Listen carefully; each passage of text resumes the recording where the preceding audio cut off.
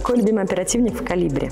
В калибре у меня любимый оперативник, ну, можно два-три. Ну, у меня а, вообще основная роль, когда я именно выступал на турнирах, у меня основная роль была поддержка. Э, мой любимый оперативник был немецкий оперативник Штерн. То есть э, геймплей несложный, есть базука, и все. То есть большой урон, много хп.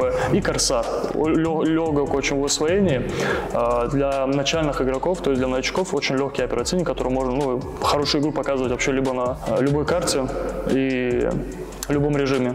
Если будут проводить турнир по L2, будешь участвовать? Естественно, конечно. Ты пробовал играть в L2?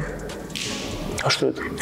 Каких игр нам еще сделать, чтобы было больше киберспорта? Я считаю, что лучше заняться играми, которые уже есть в наличии, так скажем.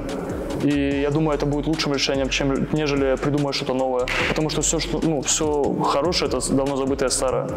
Первый раз вы на калибре, на турнире.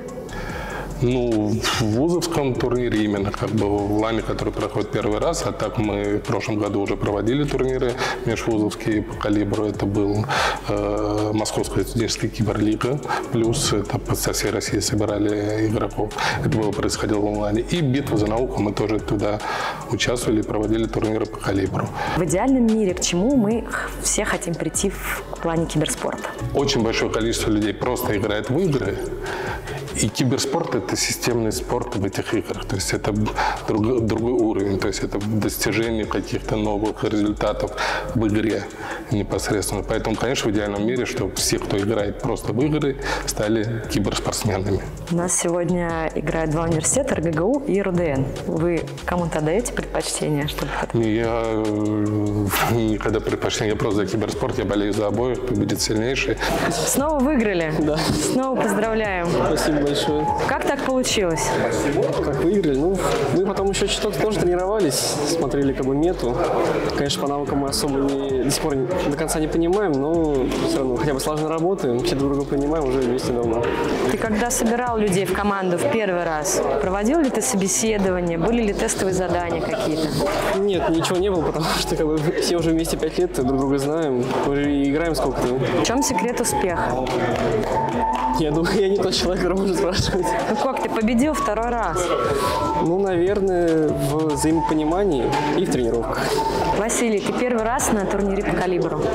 Присутствую на финале, да, первый раз. Хотя вроде формально даже проводили мы турниры по калибру, но я не участвовал, да, я не смотрел трансляции и не видел команды, и не видел награждения, да. Как впечатление?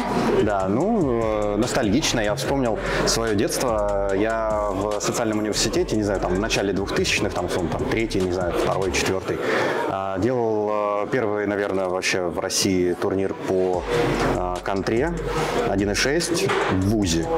И э, это было очень круто. Мы делали также трансляцию в, в зал, в, ак- в актовый зал, и это взрыв мозга был для преподов. В идеальном мире к чему мы хотим прийти в киберспорте в России? Ну, мы цель такую поставили, чтобы киберспортивных дисциплин российских было столько же, сколько нероссийских. Да? И чтобы соревнования, когда проводились а, всероссийские, международные, там, наши на территории России, дисциплины примерно были к один к одному, а значит и участников примерно было поровну. Вот такую мы амбициозную цель э, для себя поставили. Какой твой любимый оперативник в калибре? А, Я за медиков играл все время, и э, мне это спокойней.